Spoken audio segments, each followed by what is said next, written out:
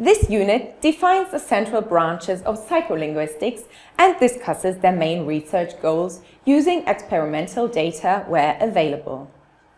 In the content sections, which contain several macro and micro teaching videos, we will discuss aspects of language processing, we will look at language acquisition and exemplify the basic principles of neurolinguistics.